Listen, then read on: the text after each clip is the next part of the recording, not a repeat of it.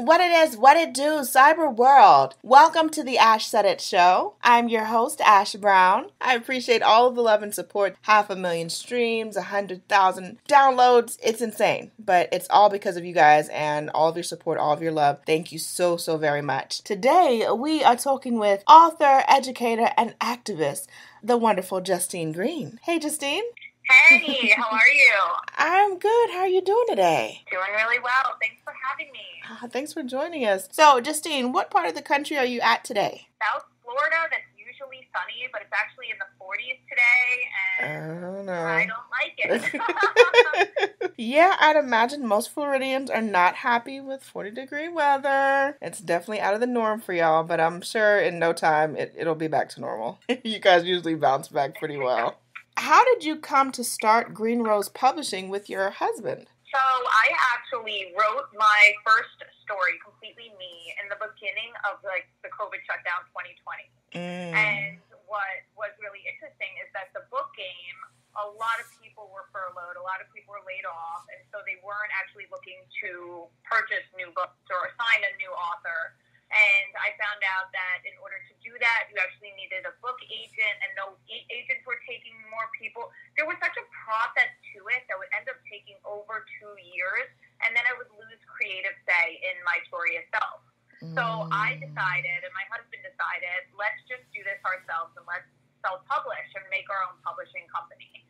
And we learned a lot along the way, but we ended up doing that and we self published my first book, Completely Me, and the other two in my series, Completely Emmy and Completely Matt. Oh, wow. Back to the beginning where you guys started, what would you say was the biggest challenge? You know, I was doing a lot of research about, you know, what it would cost for a startup. Because it really is. It's a startup. Yeah. Whether it's only one book or more, it's a startup. And we significantly underestimated that. And the Mm. fact that you were learning a new realm. I am an education person from the start. My husband is a business person, and all of a sudden we decided to get into books. and it's like, how do we do this? So there was a lot of Googling, a lot of extra time, but we made sure to, to do our research and to do everything we needed to do to make sure it was done correctly and it was going to be successful. And Mm. there was just way more to it than we thought, but it was worth it. I love it.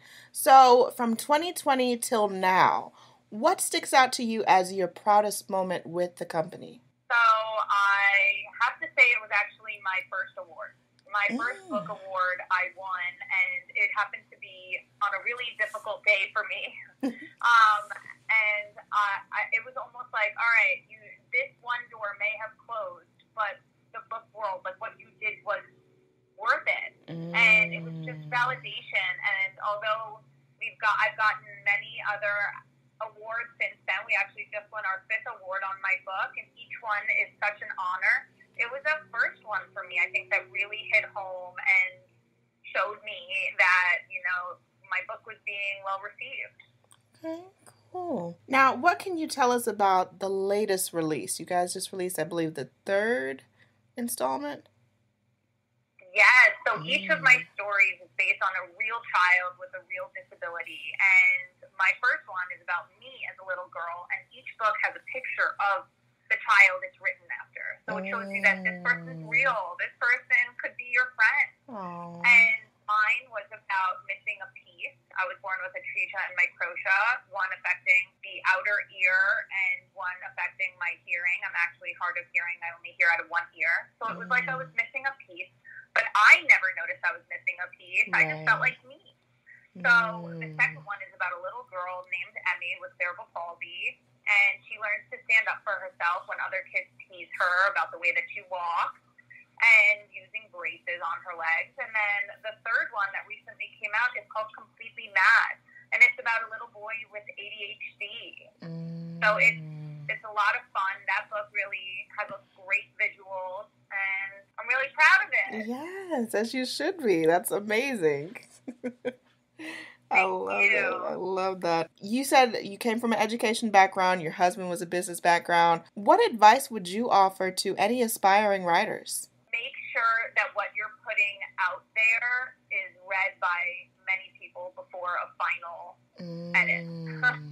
that like dot your I's, cross your T's, have four other people from different backgrounds Right. review it and tell them your feedback. Mm. It's so important that authors understand that there is they, there are lots of changes that go through it along the way, and one eye will catch something that someone else may not have caught, and that it's really helpful to Mm. have some re- some responses and critiques before you make a final. Yeah, that's a very, very, that's a great point, actually. I don't think anyone's ever suggested that, but yes, multiple eyes. No, thanks. I think that's good. I think that's a that's a really awesome point to make for that. Justine, what's the best way for people to get the books and also follow you guys on social media? So on all the social medias, we are at Completely Me Book, and then I am Dr. Mommy Green, which everyone used to call me. so I am Dr. Mommy Green. That is the books, and my Green Rose Publishing account is at Completely Me Book. And buy us on Amazon, on our website, greenrosepublishing.com. You can also, on our website, submit your story for a chance to be featured in one of the upcoming books. So definitely check us out, and I hope to hear from you. Absolutely. Well, Justine, thank you so much for coming through today. Certainly appreciate you. I had so much fun. Thanks for oh, having me on. Not a problem. Much more success to you, the team, your hubby, the babies. I know uh, you get your inspiration from a little bit of everybody. So much more success, and of course, the next book project. We'll look forward to that. Thanks so much. and I appreciate each and every one of you guys. Thank you so much for all of your love and support. Keeping in mind anyone to tell you that you can't do what you want to do. You look them square in the face, you tell them, don't believe me. Just watch. Watch what I do. Watch me make it happen. Watch me make history. That's what we're doing this for, the history books. Social media is nice, but real life is so much better. Until next time, you guys.